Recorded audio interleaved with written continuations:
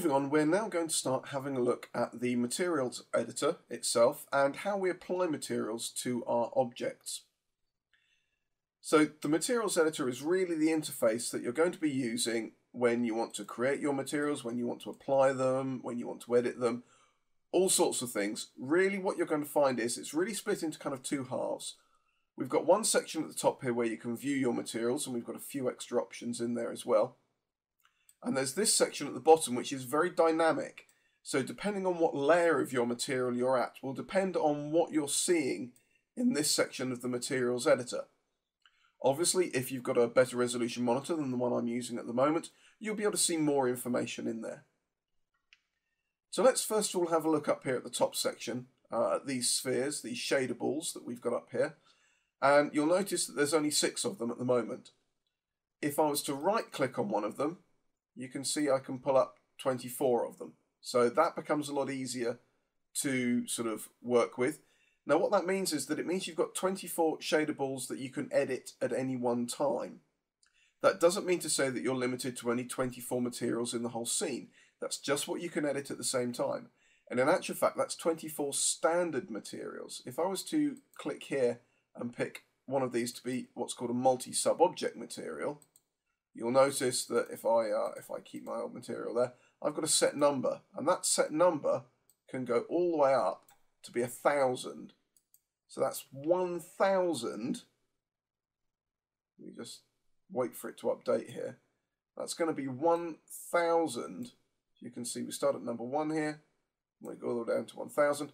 1,000 standard materials just in this one material slot alone. So in actual fact, if I just turn this back to standard, that means that you can edit up to 24,000 materials at any one time, as well as having an unlimited number in your scene. So really there's no excuses. So just sticking towards this one standard material, I'll right click here and I'll take this back to be a 3x2 sample so things are easier to see. And I'll just start setting up a basic simple material as I would do sort of in everyday work. Now the first thing that I tend to do is I tend to click this button over here, which is the show background. And what that does is it's going to show up any reflections or any specularity or any highlights that I might have really nicely and really well. So that's helpful. The next thing I'll want to do is I want to apply that to the material. And I say that, that you know, we've just got a bog standard slate grey material here. There are several different ways that I could do this. I could left click and drag and drop onto that object and you can see that one turns grey. And for a very small, very limited scene, such as the one that we've got here, that's absolutely fine.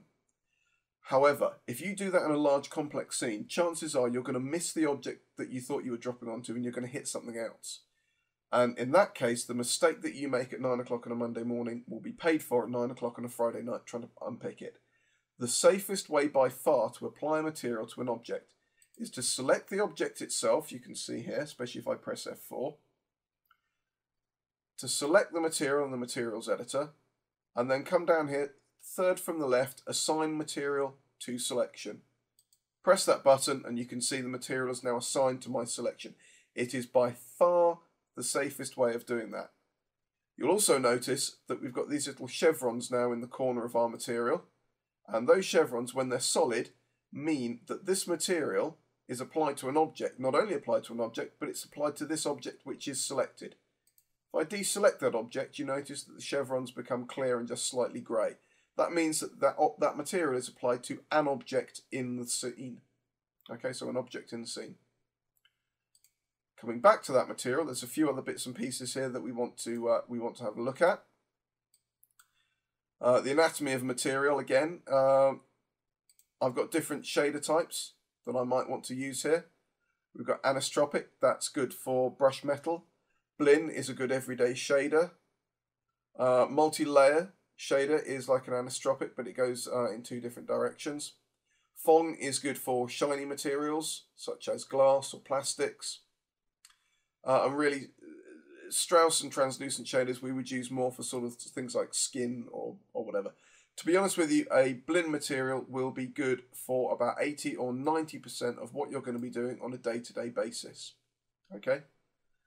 Other basic things that I can do here within my materials editor are change the base color of my material. So if I make that a nice blue colour, you'll notice that the ambient is locked to that. Basically what the diffuse colour is, is to sort of give it, it, it its, um, its technical term is it's the colour of the material when it's being lit by a light source or by the camera or being viewed by the camera at uh, at or less than 90 degrees and the ambient is when it's not being directly lit. Now we used to have to have these separate and make the ambient a darker version of the diffuse, which is all very well. But to be honest with you now, we really want to allow the ambient to be the same colour as the diffuse so that it will, so we, we let our lights take care of the bits that are lit and not lit. Really that was when renderers weren't that clever and, and machines weren't that fast. Things like your specular highlight, you really don't want this to be white. What you would like it to be is a lighter colour of the diffuse. So if I drag and drop that and copy it, and then click on the specular highlight, I'll make it a much lighter blue. Imagine, for example, uh, a car, and a car with very blue paint. The highlight that you see from that when it was uh, a nice sunny day wouldn't be white, it would be a very light blue. And that specular highlight and level is also controlled down here from these very basic options that we've got here with specular highlight and level. And if I increase my specular level and my highlight, you can see we can make this a more and more glossy material every time we change one of those options. So that's, that's really rather quite good. I can change the opacity of the whole object here, or I control it, can control it by using a map. Now you'll notice that we've got these little squares here called none. There's one there, none as well. And really, if I'm going to want to have something other than just controlling this with a, a very sort of simple um,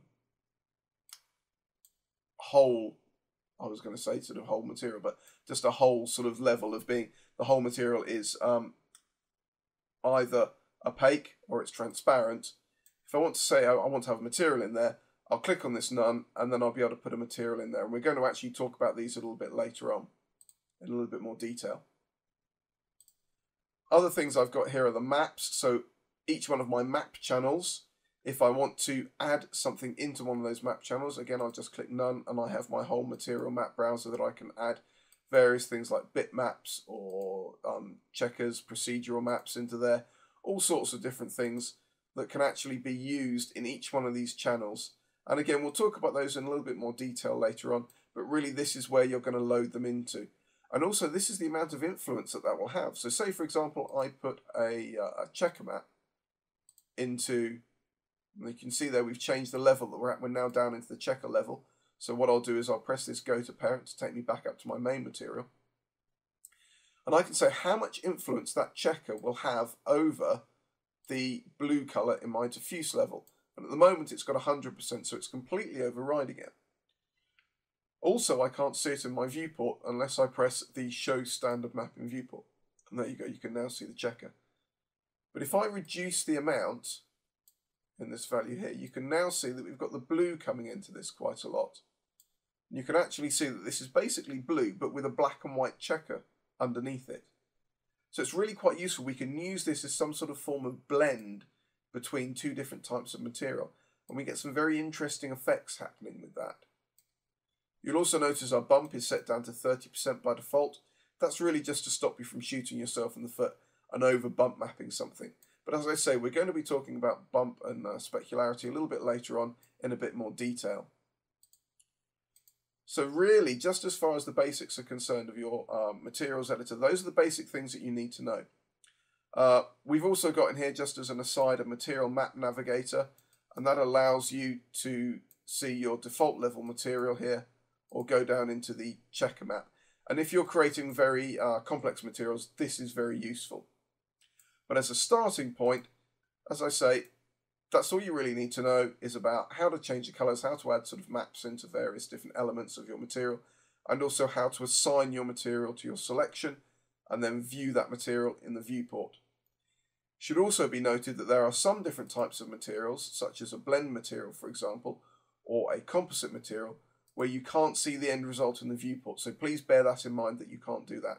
But apart from that, it's a very simple interface. It's all very procedural and it's very quick to learn as well.